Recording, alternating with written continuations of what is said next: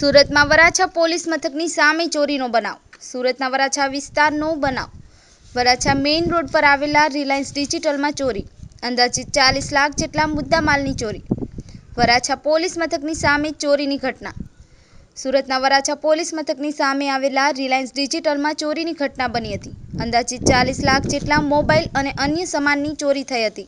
આશ્ચર્યની વાત એ છે કે પોલીસ મથકની સામે ચોરી ઘટના બની. પોલીસે તપાસ હાથ ધરી છે. સુરતના વરાછામાં ચોરોનો જેમ બે ફાર્મ બન્યા હોય તેમ ચોરીની ઘટના બની રહી છે. ત્યારે આજરોજ સુરતના વરાછા મેઇન રોડ ખાતે આવેલા રિલાયન્સ ડિજિટલમાં ચોરીની ઘટના બની હતી. ચોરો શટર ઊંચું કરી શટરની નીચેથી ચોરો મોલમાં પ્રવેશ્યા હતા અને મોલમાં રહેલા મોંઘાદાટ ફોન અને અન્ય સામાન મળી કુલ ચાલીસ લાખ જેટલા મુદ્દા માલની ચોરી કરી ચોરો ફરાર થઈ ગયા. આશ્ચર્યની વાત તો એ છે કે આ મોલની સામે જ વરાછા પોલીસ સ્ટેશન આવ્યું છે અને રિલાયન્સ મોલમાં ચોરી થતાં પોલીસની કામગીરી પર અનેક સવાલો ઉઠી રહ્યા છે. સૂત્રો દ્વારા જાણીતી માહિતી મુજબ ચોરો કારમાં આવ્યા હતા અને મોલમાં પ્રવેશી ચોરીને અંજામ આપ્યો હતો. ચોરીની ઘટના બનતા હાલ પોલીસના ઉચ્ચ અધિકારીઓ દ્વારા તપાસ હાથ ધરવામાં આવી છે. અને લાખોની ચોરી થતાં હાલ પોલીસે પણ આરોપીને પકડવાના ચક્રો ગતિમાન કર્યા છે. Speed news seventeen Avi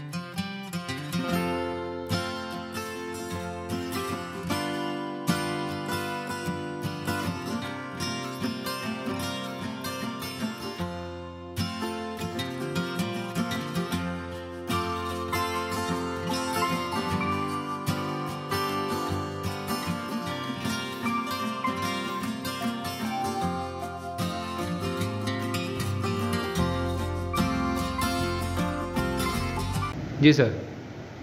ઉમરા પોલીસ સ્ટેશનમાં બે દિવસ પહેલાં જે ટોસલી જુમેબ ઇન્જેક્શન મળવા પામેલ અને ટ્રેપ ગોઠવી અને એક કિસ્સાની ધરપકડ જે કરવામાં આવેલ હતી, તે કાળાબજારી બાબતે જે ગુનો દાખલ કરવામાં આવે છે.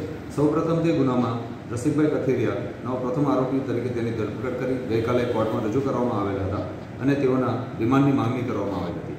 આ બાબતે નામદાર કોર્ટ દ્વારા તેઓના ત્રણ દિવસના રિમાન્ડ મળેલો છે અને હાલ તેની પૂછપરછ ચાલુ છે.